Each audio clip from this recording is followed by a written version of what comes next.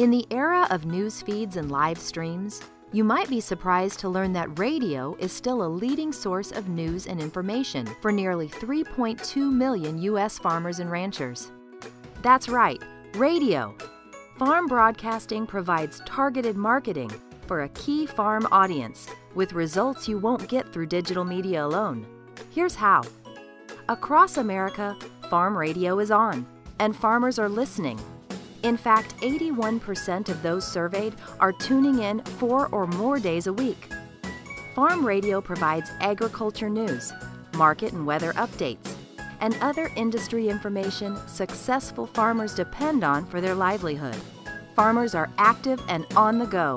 Their office is their operation, not a desk. They need a media source they connect with in the office, in the field, on the go. NAFB broadcasters have been connecting with farmers and ranchers since 1944, providing daily agriculture news on more than 1,500 stations coast to coast.